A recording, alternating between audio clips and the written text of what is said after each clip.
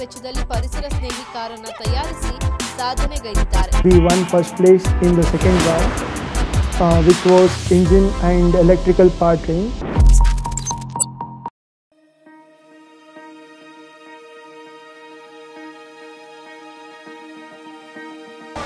Hey, this is such a cool e-vehicle. Where did you buy this from? Haha, It's actually manufactured in a Tripoli department under the guidance of Professor Gopal Reddy sir. And what about its specifications? Like, uh, it was actually started to plan and uh, they did the budget for around 60,000. It, it once when it is completely charged for once, it can drive up to a distance of 70 kilometers and it has a cool specifications. That sounds cool. Can I give it a try? Yeah, sure. Oh, this is a single seater. It looks quite comfortable. I think I should give it a try. Yeah, you can.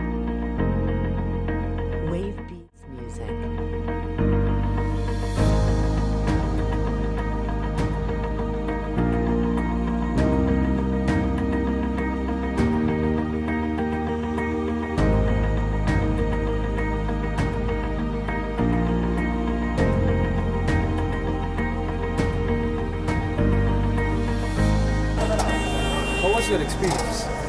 Uh, it was a very simple and comfortable ride, and uh, since it doesn't involve any manual transmission, even a layman can drive it. So, is this the battery capacity indicator? Yeah, it shows the percentage of charge left in the battery and also the voltage of the battery. Uh, What ha- are these switches? Uh, this, is, this is one for the forward drive and the reverse drive. It can move in both the directions. And these are the for the headlight switches in the front. It is on-road ready vehicle. We have a mirror. We have headlights. On. The cost of this complete e-vehicle is around approximately 50 to 60,000. How was your experience? The experience was amazing. How did you get the idea for this project? Actually, our seniors had an idea to do this project. They have did under the guidance of Professor Raghunath sir. What are the specifications of this? Like uh, it has a battery storage unit to drive the motor, and a controller will control the speed of the motor. We have a sensor to sense the speed, and it will be the display will display the voltage, capacitance, and the speed of the vehicle. It's amazing. Uh, what if the battery runs out? Like Can uh, you tow the vehicle? Ah, no, it is a since it is a hybrid vehicle, you can use the pedals to run. So when you are pedaling, it's just like a driving a normal cycle. This is Rahul HV from Tripoli department. And I'm Ashwin Asrao from Triple E Department. Signing off this week. We'll be giving you more updates in the coming weeks. Thank you. As we are aware, globally the automotive propulsion is shifting towards electrification, and the students and the engineering community are the front runners to adapt to the trend.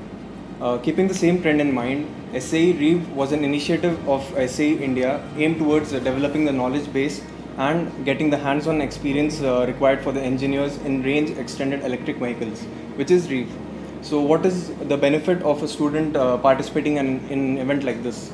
So they get exposure to uh, an industry, they get exposure to the future technology, and they also get introduced to the concept of OEM product development. So Team Black Hawk Racing of VVCE Mechanical Engineering have participated in SAE REEV this year, and let's have a look at what they've achieved. I'm Sohan, captain of Team Black Hawk Racing from Mechanical Engineering. We are a team of 35 members. Recently, we participated in SAE REEV. We had our virtuals on 9th and 10th of April. Uh, there were four rounds, and we won first place in the second round, uh, which was engine and electrical powertrain. We also secured All India ranking of second as second runner-up. I'm Nitin Jaikar. I am from Department of Electrical and Electronics Engineering. As a core member of Blackhawk Racing, I'm so happy that we are rewarded as a best team for motor and battery pack design. And mobility system is not only for restricted for mechanical engineers. It as the technology evolves, it opens a, it welcomes all branch of engineering such as computer science, electrical and electronics, and even AI, AI and ML2 as a part of this event, including me and my three other friends, has been invited for a HR round. Hopefully, we will be uh, placed with the companies. Uh, that's it for the weekly updates from Black, uh, Team Blackhawk Racing. So these were the updates on the SAE uh, event, and this is Mohammad Raid, and I'll be back with more updates next week. Welcome to weekly workshop updates.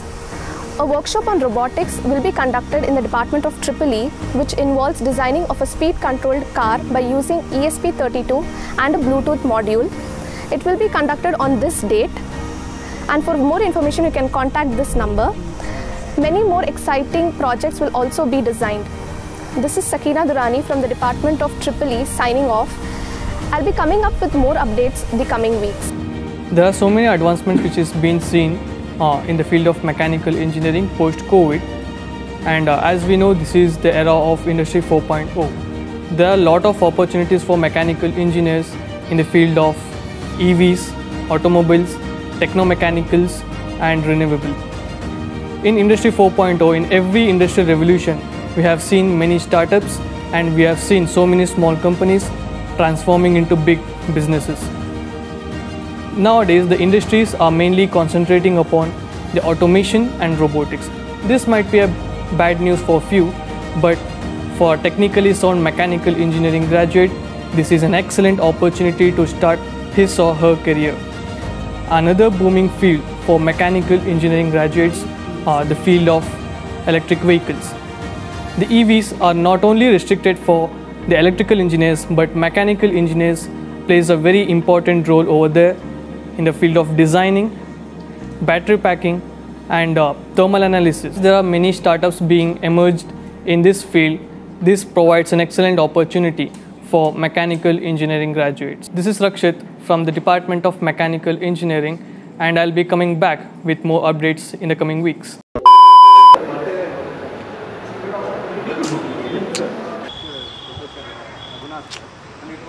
Signing off. I'll be and our All India ranking is uh, the All India ranking. Uh, the, I'm Nitin Chakrachi. I'm from Department of Electrical and Electronics Engineering. As a core member of uh, Black Ops, Black Ops, Black Ops, uh, This is Rakshit from the Department of Mechanical Engineering, and I'll be back with more updates. In the coming Oh, sure. In the coming Stop.